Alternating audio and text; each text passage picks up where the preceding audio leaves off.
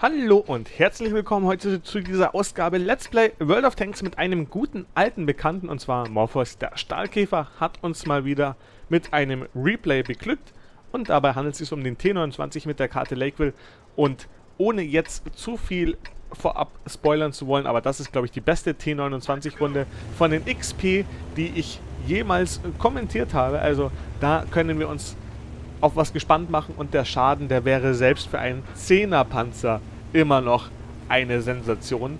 Also, das dürfte jetzt wirklich schnieke werden. Schau mal, was er hier macht. Aber der Anfang ist eher typisch und zwar man fährt mit einem Heavy eher Richtung Stadt. Man kann natürlich auch mit dem T29 Linie klar machen, weil er eine vernünftige Gun Depression hat. Aber wie gesagt, die Stadt ist dann doch eher das Hauptziel. Und hier in der Mitte könnte man auch mal immer noch einen kurzen Blick wagen und warten, aber aktuell bis auf den KV1 war da nichts offen und dementsprechend fährt er jetzt weiter. Hier draußen ist nichts in der Stadt. Da wird sich wohl das gesamte Team von ihm fast einfinden. Ein TD, der hier außen steht mit der Su 12244, dann vier auf der 1-2-Linie und der Rest orientiert sich ganz stark Richtung Stadt. Also da wird es gleich zumindest von seiner Seite aus schön rund gehen. Da kommt auch schon der erste Tigergitter auf seitens der Gegner.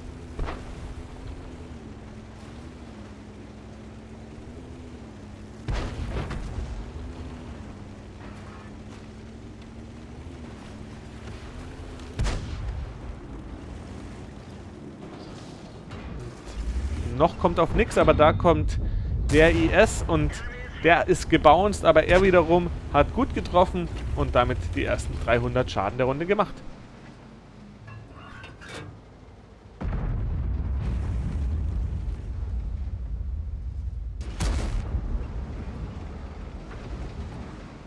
Na, der KV-1S, der ist leider nix und hier ist jetzt ganz schön eng. Da wird viel gekuschelt. Der Tiger drückt den IS da raus, nicht die schöne, feine englische. Das merkt der IS jetzt auch. Jetzt kommt die Su also das ist natürlich Quatsch, was der Tiger da macht.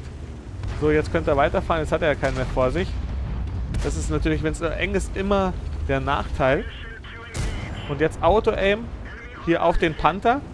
Der wird jetzt gut überrannt. Der T-43 geht da jetzt drauf. Und jeder will jetzt da ein Stück von dem Pantherkuchen. Und jetzt ist auch der schon aufgeteilt.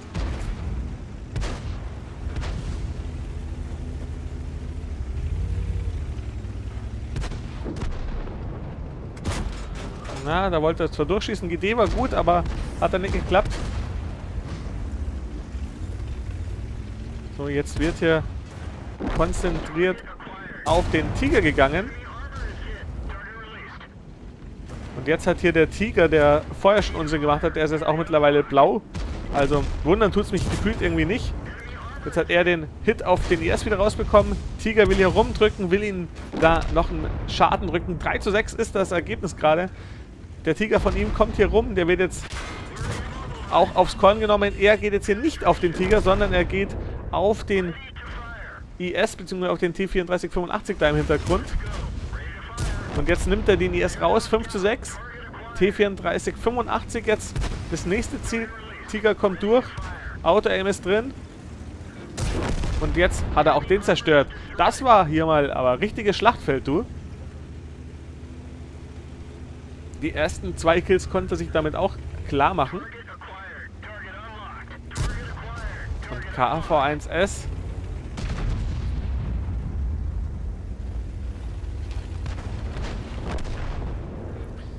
Man sieht übrigens ganz gut, dass er mit Advanced äh, Auto-M spielt. Das heißt, er muss praktisch nur mit der rechten Maustaste drücken, wenn er über dem Gegner ist. Aber wenn er hinter einem Vorhang ist oder Vorhang, hinter einem Vorbau, meinte ich, oder einem Hindernis, kommt er trotzdem drauf. Ähm, die Mod ist, ich sag mal, verschrien unter einigen. Ich persönlich fände sie sehr gut und würde mich freuen, wenn das ins Spiel kommt. Und Wargaming überlegt sich sogar stark, das wirklich so umzusetzen. Fände ich selber sehr, sehr gut, da ich aktuell ja Vanilla spiele und einfach das Auto-Aim so von Anfang an für sinnvoll gehalten hätte. Also nur als kleine Randnotiz. Ich persönlich habe auch nichts gegen Nutzer, die diese Mod nutzen. Ganz im Gegenteil, ich hatte sie eine Zeit lang selber und wie gesagt, ich wäre großer Verfechter davon, dass das so ins Spiel kommt. T43, leider No-Hit. Der KV1 und er fährt jetzt hier als einziger zurück zur Basis. 9 zu 12 der Stand der Dinge. Da muss er natürlich hinter und verteidigen. Das ist wohl der Hintergrund des Ganzen.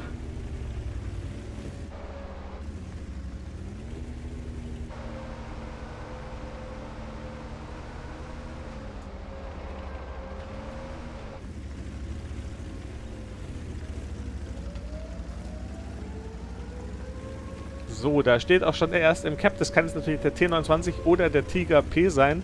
Das sind zumindest die wahrscheinlichsten Kandidaten dafür.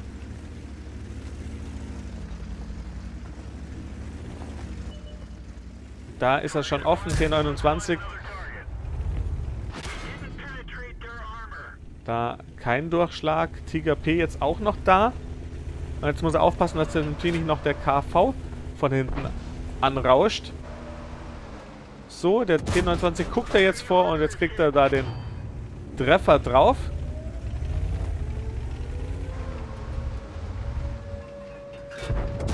So, und der Tiger P, also jetzt muss er sich hier gegen zwei Gegner erwehren, weil sein Team selber, das zieht da nicht wirklich nach. Der Chaffee vielleicht so ein bisschen, aber der Tiger in der Stadt, der kann gar nichts.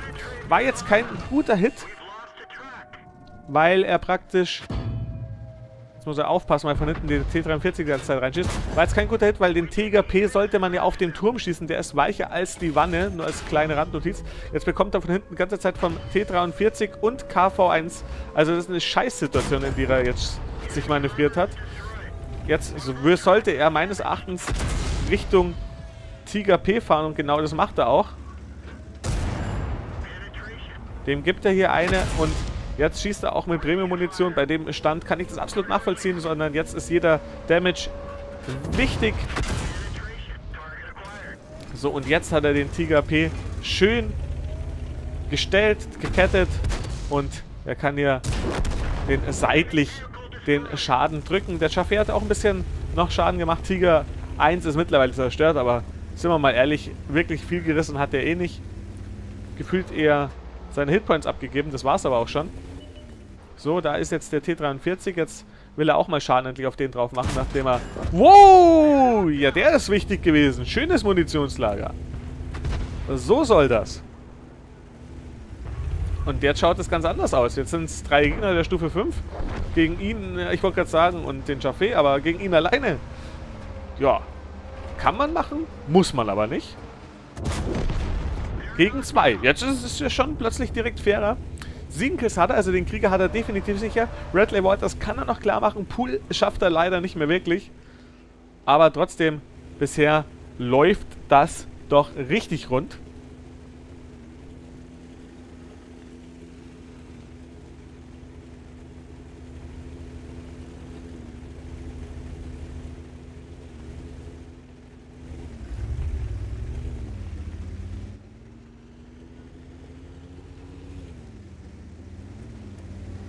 Jetzt ist natürlich auch die Frage, wo sind die?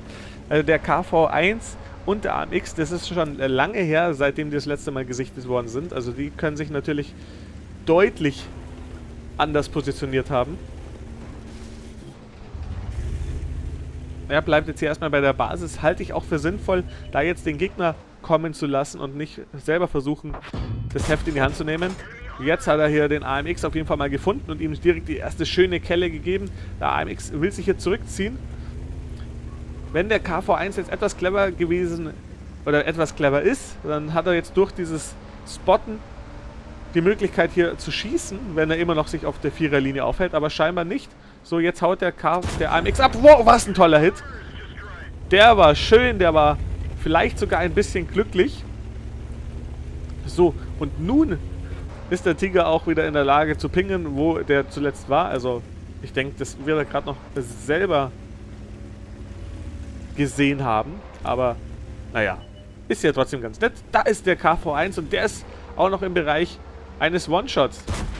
Leider der erste aus der Fahrt daneben, aber er fahrt jetzt hier direkt näher ran, um da den Treffer und auch den Sieg klar zu machen. Da soll es jetzt schon mit dem Teufel zugehen, wenn er hier die Runde nicht mehr gewinnt. Ah, und er macht es hier gefühlt nochmal spannender, als es sein muss. So, jetzt hat er ihn gekettet. Jetzt kann er jetzt einaimen und... Oh, jetzt hat er auch noch abgeprallt. Jetzt hält er ihn hier gekettet, der KV1. Nicht, nicht, nicht doof. So, aber jetzt kommt er nah genug ran. Und mit dem nächsten macht er ihn jetzt ganz easy weg. Er macht es nochmal mit etwas ja, ich weiß, ich will, er will ihn vielleicht demütigen. Keine Ahnung, warum er hier sich so lange Zeit lässt. Aber man sieht, er sollte jetzt mal den Schuss setzen. Ich habe keine Ahnung, auf was er wartet, um echt zu sein. Vielleicht will er möglichst, möglichst viele Blockschaden oder er damit... Ah, das wäre natürlich möglich. Die Experience der Runde nochmal erhöhen. Gar nicht schlecht, gar nicht doof. Sieht man auch, das ist auch eine gewisse Cleverness, die der Spieler da hat. Die Frage ist, wollte gerade sagen, wie lange das durchzieht. Gar keine doofe Idee. Muss ich ehrlichweise gestehen, bin ich noch nie drauf gekommen, aber damit kann man die XP natürlich steigern und dementsprechend auch sein Panzers sich eventuell mal leichter verdienen. Gute Idee, schöner Hinweis und ich hoffe, es hat euch gefallen. 6000 Schaden, Radley Walters, also 3700 abgewehrt und das in einem 7er Panzer. Ich glaube, da war alles drin. Mir hat's gefallen, ich hoffe euch auch. Bis zum nächsten Mal. Lasst einen Daumen da und natürlich Abo ist auch gern genommen. Euer Alkaramba.